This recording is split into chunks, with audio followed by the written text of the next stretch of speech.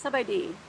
On behalf of the American people, the U.S. Embassy wishes to send its thoughts and its deepest condolences to the people of the Lao PDR and to our friends in Attapeu province.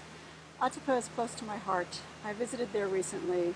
It's a place where we have uh, many projects, including a school meals program that impacts children in 31 local schools across the province.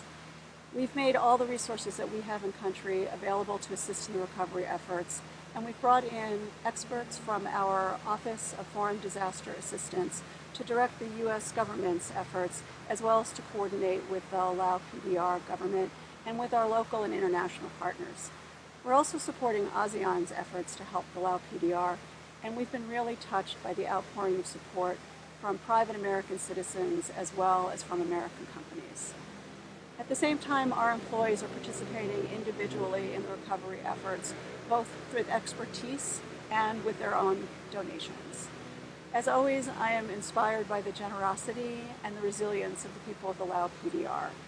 But most importantly, we recognize that there will be long-term impacts to this tragedy. When the water recedes, the people of the United States will continue to stand with the people of the Lao PDR.